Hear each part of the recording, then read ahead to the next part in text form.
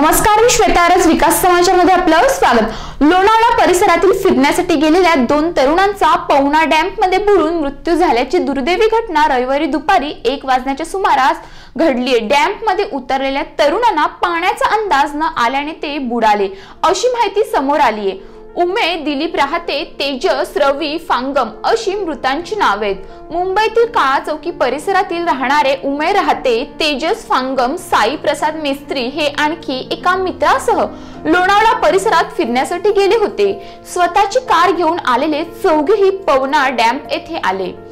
पवना वर आल्यानंतर त्यांची दंगामस्ती सुरू झाली. याच वेळी अमय आणि तेजस हे दोघे डॅम्प मधील पाण्यात उतरले. पण पाण्याचा अंदाज न आल्याने दोघेही बुडायला लागले. त्यांना साई प्रसाद आणि सोबतच्या मित्रानं वाचवण्याचा प्रयत्न केला.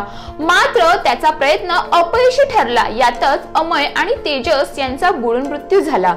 रविवारी दुपारी घडलेल्या या घटनेची माहिती लोणावळा पोलिसांना संध्याकाळी मिळाली.